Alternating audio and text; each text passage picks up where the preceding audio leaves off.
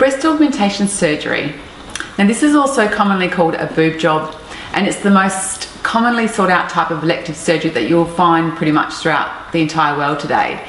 Now the definition of breast augmentation is actually the process of augmenting the breast in order to increase the size, the shape and the feel of the breast. So the way in which you augment your breasts is by adding breast implants and this surgery is referred to as breast implant surgery. Now there's two main reasons that people might choose to undergo implant surgery.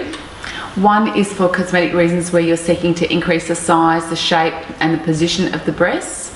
Another reason it could be the reconstructive um, issue to rebuild the breast after you've had perhaps um, breast cancer. So breast implants come in a variety of shapes and sizes depending on your wants and needs.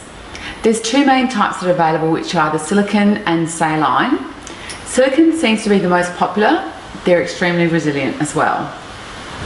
So once you've decided to have a breast augmentation, the next step is to find your surgeon and book a consultation.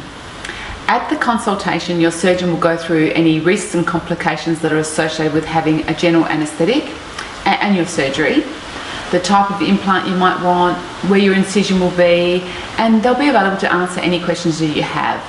It's a great idea to go to your consult with a list of questions so that you don't forget anything because when you're there you'll just forget everything. So take your list with you.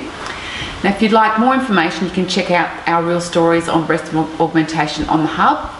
Also on the breast augmentation procedure page you'll find some videos on breast augmentation by plastic surgeons and also some great animations which have been um, provided to us by Dr. Steve Merton. So good luck on your journey. Hope we've been able to help.